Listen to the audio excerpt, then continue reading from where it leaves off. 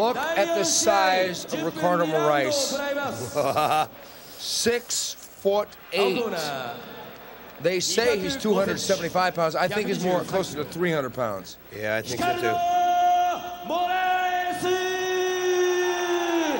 Jesus. That's an imposing figure right there. I would take a Louisville Slugger here in the back of my trunk. And there is Mark the Hammer Coleman, former two-time, or actually three-time UFC champion.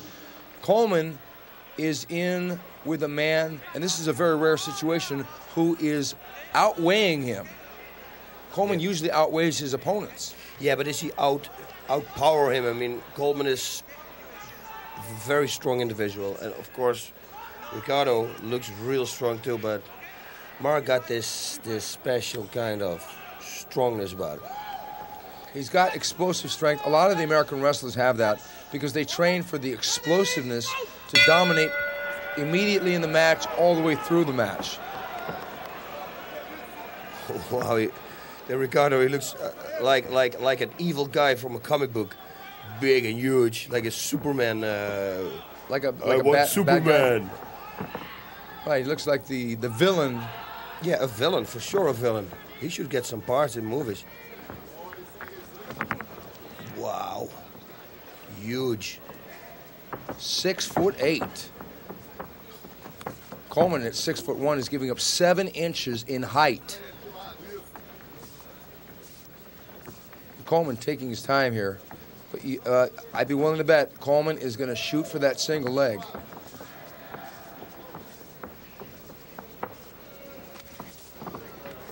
Or the beautiful double one that he did, uh, what we saw here in the front with Takada.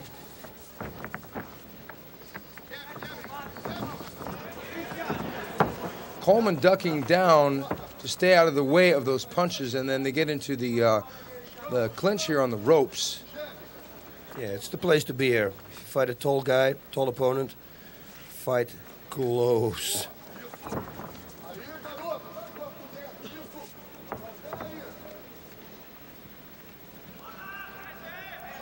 Wow, this guy's big, huh? Now, Col- Coleman is a silver medalist in the Olympics in wrestling. Yeah, so that's why he probably will get the takedown. What do we know of Ricardo Morais? Well, Ricardo Morais, he won a 16 man, no holds barred tournament, the Absolute Fighting Championships number one, and that was way back, uh, February 1st, 1996. And he beat everybody within the distance most of the time. It was with strikes, but in the final match, he beat a Russian fighter with a rear naked choke. So he's dangerous with strikes. Okay, but he knows his submissions too. Hmm. He used to train with Renzo Gracie. Break! Okay, now that says it for me. because Renzo Gracie has got a huge facility for ground fighting, especially submissions.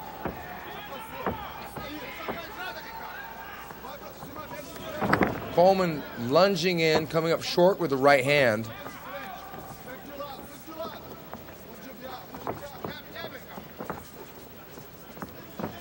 yeah, there's a huge difference here in height and reach.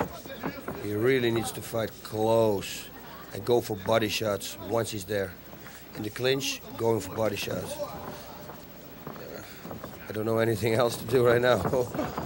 Coleman is waiting for him to punch so he can drop down and trap the leg. That's it. That's exactly. He wants to get him coming forward. And there it is, Coleman picking away at that single leg, and down they go. Ricardo Morais won with a rear naked choke, but Coleman is on top. The trick is to get Coleman uh, on his back or to take Coleman's back, and I think that's going to be a hard proposition, boss. Yeah, we've never seen it before. So, uh, no, I don't think that's going to happen. Especially not in the new and improved Coleman. He's been training real hard now. Uh, his cardio apparently is all the way up.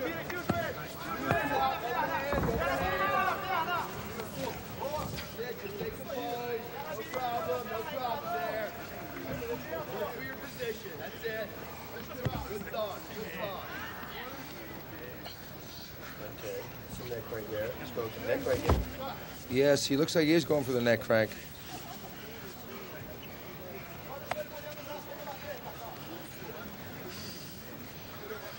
Ricardo Morais seems to be relatively inactive here in the guard. Uh, but, but Coleman is extremely good at controlling people in the guard. What can Morais do here? They're up against the ropes, but Yeah, there's not a lot he can do because uh, Coleman tries, you see, he's constantly grabbing the back of the head. And if he starts neck cranking him, because Morais is such a big guy, he might tap him with it actually, because Coleman has a lot of power with it. Morais pushing straight back with the legs. Oh, side control. Yes, he got, and he's Oh, almost. look at this. He's got him in a cradle here, or almost.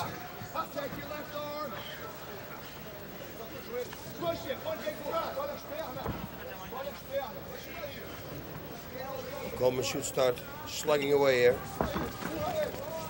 He doesn't want to leave his arm hanging like that. That's not a good idea. Coleman's got to get his head out. He should start rain punches there, right straight to the head.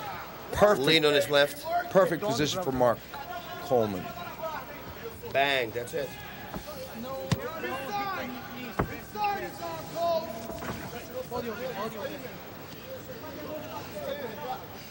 I think this is going to be a stop, don't move situation. I think you're right, and I think that's going to happen in the next 30 seconds. Oh, Coleman, Wow. uh, Ricardo Morais trying to smother Coleman out of that move. Whoa! And now Morais has Coleman's back. Coleman standing back up. Morais trying to punch away. And that landed there. One, two punches by Ricardo Morais. Coleman coming up short on the punches. Diving in, driving in for that single, and pulls back into Ricardo Morais' guard in the center of the ring. Yeah, you see, a, a simple thing like a neck crank right now could work. You know that? Because his, his upper body is so tall, he can really crank it. He will open his guard, and he's got the power for it.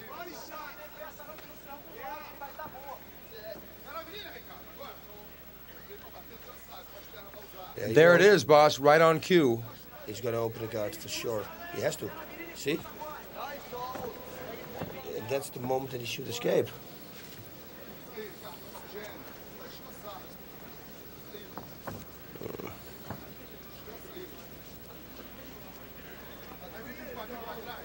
Okay, Ricardo trying to smother Coleman. Coleman going for the neck crank, but he doesn't have the inside position, so it's not going to be effective here. No. He's going for it again, but what he should do is grab the top of the head. He will have more leverage and it will work better. If he slams his legs down and he controls the hips, man, he can, he can even let him tap. The only thing he has to watch out for is an armbar then. Whoop, nice. Very nice, nice. You should keep doing that. It's working. Boss, let me ask you. This is the first time we've seen Ricardo Morais fight in the Pride Fighting Championships. Do you think that it's to the point where some of these guys are so big that no one wants to fight them? Yeah, on one hand, but on the other hand, you have a lot of fighters that do want to fight him just to see if can, they can go the distance. You know, it's always like we saw with Emmanuel uh, Yarbrough against the little guy. It's wow, look at this action again. He can't pass the leg now, but it's always interesting to see a big guy against a smaller guy. David and Goliath, that's what people like. And uh, the disadvantage of big people is most of the time the uh, the stamina. And big means you have a lot of lot of holes to escape. Big armpits, big arms, big legs. You know they're they're more vulnerable than short and compact, like a Igor Vovchanchyn or Akira Shoji build. Short and compact, that's better in grappling. Plus, the, the bigger people, because they're so big, it takes them a lot more energy to move their limbs either to strike or to do submissions. Because everything weighs more it's, it's longer. Yeah, and I heard, I don't know if it's exactly true, but I hear that, uh, from what I understand, that guy probably has the same kind of long volume that I have. Only he's got a total different body. Like, uh, it doesn't go by size. That's why you always see the lightweights. They keep fighting, keep fighting. That's why the light people, they're real good in running because they have, yeah, the half, the half amount of muscles that we have, but the same lung capacity. And the same heart, probably. The heart, I don't know. Maybe the heart is bigger. It should be because it's a muscle.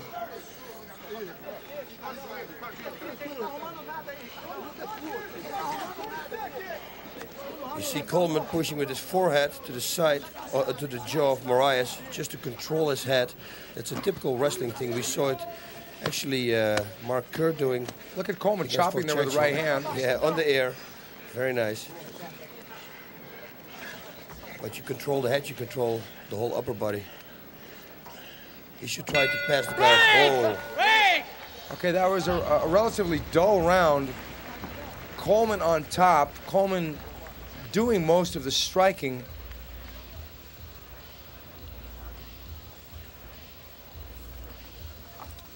Carlson Gracie giving the instructions as Renzo Gracie is in front. So you've got uh, you've got Brandon Lee Hinkle on one side of Mark Coleman, and Coleman being toweled off by the referee.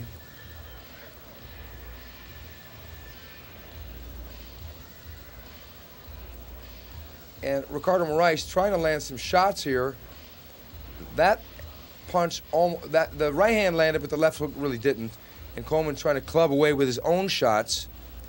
And then Coleman shooting, going for the single, and driving in. Ricardo Morais gives it up. There, there it is again with that right hand by Ricardo Morais, and Coleman dropping down and going for the single. A lot of wild punches missing in that exchange.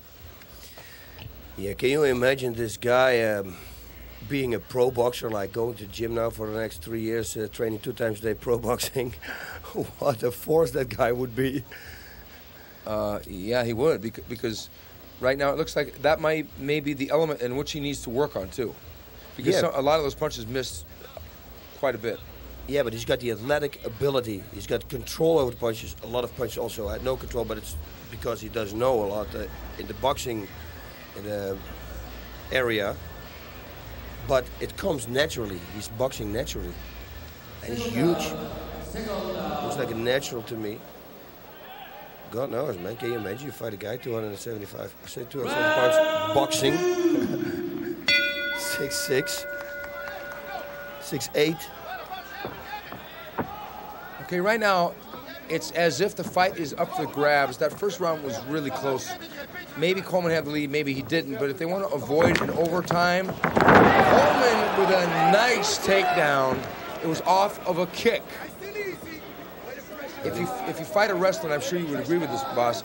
You don't want to lead with a kick. You want to maybe lead with some punches, then throw the kick under the punches. That's it, man. Oh, look at this. Coleman squeezing awful tight. Yeah, but what does he have? He He doesn't have really anything, but he's he's basically cooking Ricardo now. He let up his grip a little bit, relaxing. yeah. If Ricardo wants to loosen the grip, he should should just twist to the right, try to bridge Coleman off, and then Coleman has to post his left arm out, and the grip will be gone. But there's nothing really there. Especially with the guy who trains with Renzo Gracie. I, Easy, baby. Nice breathing. Nice breathing. You're in control. Yeah, that's Tim Catalfo there that we hear.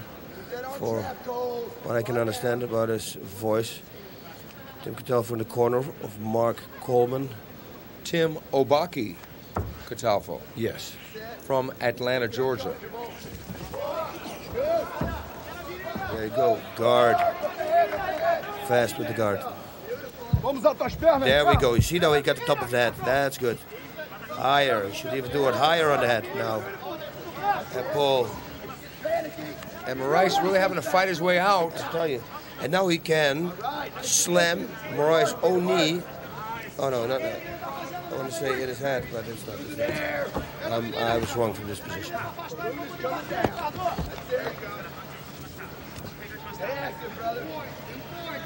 Dois minutos,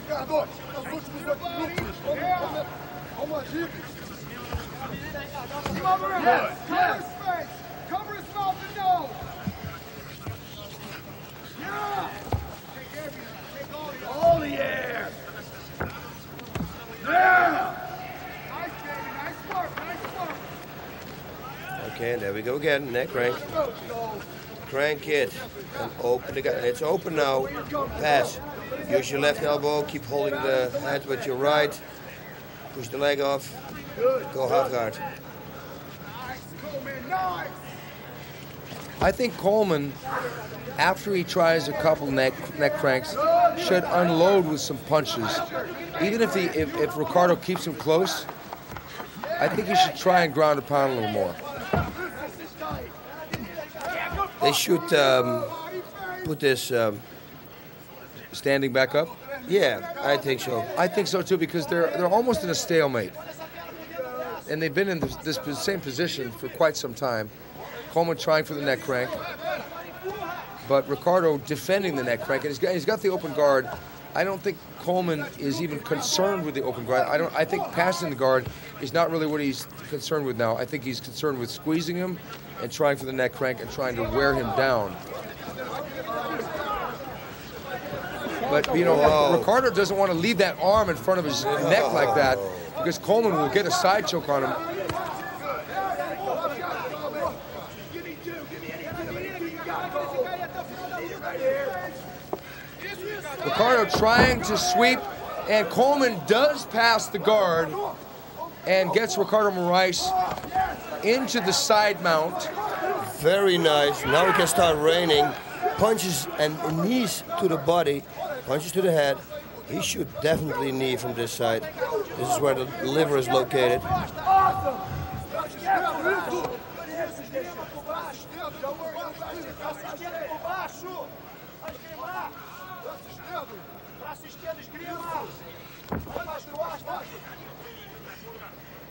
Double strikes, Joe. Double strikes. Hit him on him. Makes him think. Make him nervous. Boss, can you judge a person's personality by their fighting style? By just watching a person fight, let's say you never met them, can you look at a guy and say, okay, this guy's a, loud guy, this guy's a meek guy, this guy's an intelligent guy? Um, a lot, I, a lot I can. Yeah, What kind of fighter or what kind of person is Ricardo Morais? I think he's a, a relaxed person, a real relaxed person. Because Very nice person. Probably has a nice family and everything. Something that you don't expect. Okay, now he's got Coleman in half guard, and he's got that shin under Coleman's thigh, possibly wanting to sweep Coleman, but he's, he gives it up. Coleman should watch out now. He doesn't get turned to the other side. Uh, he's a wrestler, so that won't happen. Uh, Ricardo Morais trying to get back up, but Coleman pinning him back down. That's his specialty: is control the man on the bottom. He should start punching now. If Ricardo is a relaxed guy, a mellow guy, what kind of guy is Coleman? I um, Coleman is an, uh, uh, uh, also uh, a relaxed guy, but he he gets his moments like in normal life. Then, eh? in a fight, he has always his moments. He's very, very aggressive. Look at this. He's cranking, cranking, cranking. Wow, nice. That's what he should do. Now he should hit with the head up against the rope. What I But, s- but he can unleash that uh, that aggressive power. Yeah, what I see in Coleman, and, and this is a difference between, I think, these two guys, is Coleman is probably a quiet guy, but he's got this explosive, passionate side of himself. Now, when he goes to that neck Wow. break, look at the look in his face. Oh yeah. Look at the body shots here now. And yeah, he, he's getting busy. Because I think Como- uh, Coleman, his emotions can bring him to the, the top of his heights, but like when he fought Maurice Smith, his emotions betrayed him because he went out there a little too emotional and put too much energy into the fight and, and lost his wind. Yeah. So I think he's learning that middle ground between be, between being emotional and being relaxed like Ricardo Morais. Whereas Ricardo Morais, on the other hand, I would like to see him get a little more emotional in, in this fight. I'd like to see, see him if, if he if he was in a desperation situation, he might explode a little more. Yeah, we, we saw it in the beginning, in the first round. We saw him um, a few times the explosions with Mark, and then the nice sprawls, the nice takedown defense. Look at this. Look at this. I'm telling you, man. I, I think Wow. I think there's never been a fight where Coleman did not give 100%. Yeah, that's true. I just want to make a, com- uh, a remark about this.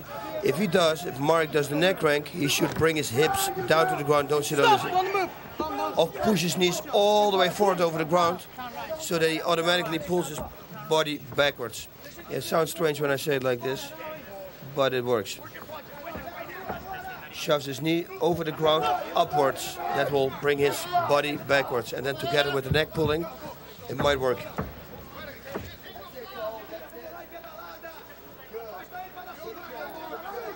Well, Ricardo Morais is getting a lot of different instructions yell, yelled at him from his corner, but he, he hasn't he hasn't really done anything except for lay here in the guard and try to counter the neck crank for the last let's say five to seven minutes.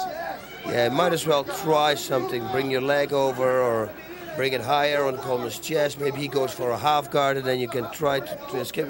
Try something. But I've been in this position under Mark Kerr when we were training, and um, I, I have to tell you, it's very, it's very difficult to escape a guy like Mark Kerr or like Mark Coleman. And, um, but you try. You have to try. You have to work and do something. This way, he's going to lose the fight. He's going to skip now the hip. I thought he was going to go for armbar maybe, but he's not. Yeah, he, ha- he has to move more.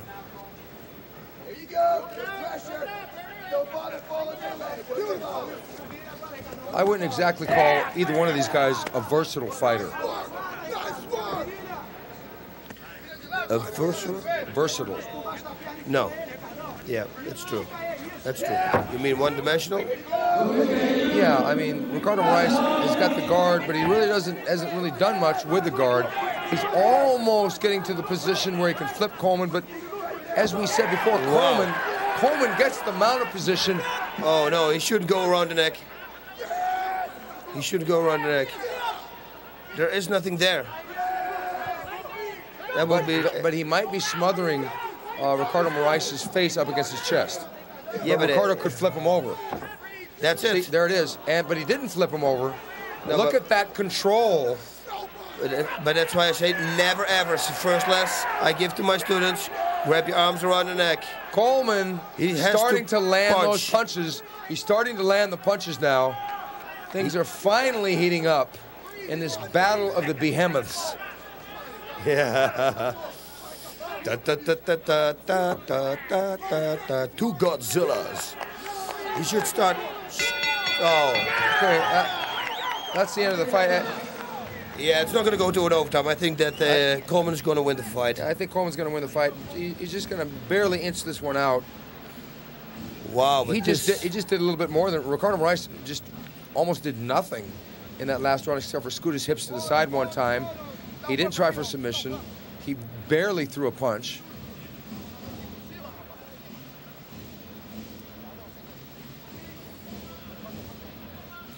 He actually looks like Stefanos a little bit, huh? Stefanos Miltsakakis, one, yeah. one, of Rickson Gracie's students, and also one of Rob Kaman's students, the famous uh, Muay Thai kickboxer from Holland. Yes.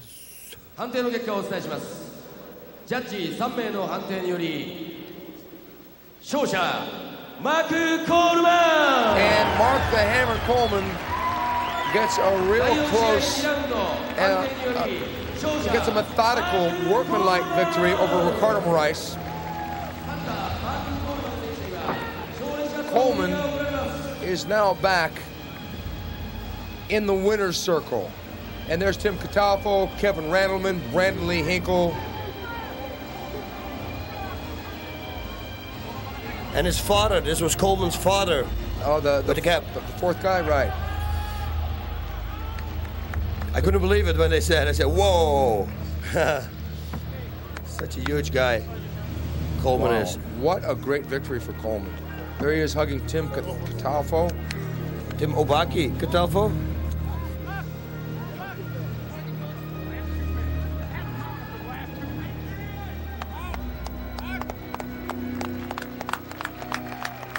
Let's have a round of applause for Mark the Hammer Coleman.